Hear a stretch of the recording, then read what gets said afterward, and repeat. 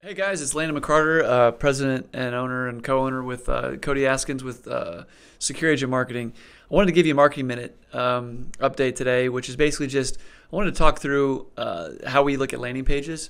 Uh, I've done a landing page video before, but landing pages are really simple, guys. One of the things I, I see a lot of people make mistakes on the structure of their landing page, and one of the things that they ask me is, "How should I build my landing page?" There's a lot of good landing page. Um, you know systems out there i'm actually finding myself having a lot of fun with clickfunnels just because you can copy and share and duplicate and adjust and a b test really easily with clickfunnels. So it's a shout out to you uh, russell brunson.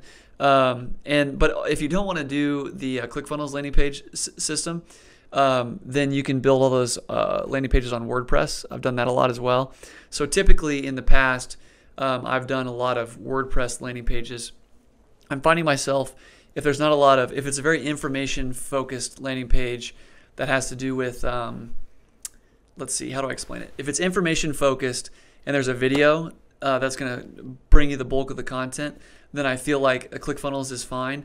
But clickfunnels is very dumbed down from a design standpoint. So if what you're trying to do is separate yourself from a design standpoint as well and have a higher brand equity in the landing page be able to have more flexibility in the design do whatever you really want with that landing page um, gate, you know, there's just a lot of more tools that you have on WordPress to build it that way. So if you're building landing pages for your marketing campaigns, then I would, if it's a basic landing page, do ClickFunnels. If it's an advanced design focused landing page, then do um, WordPress.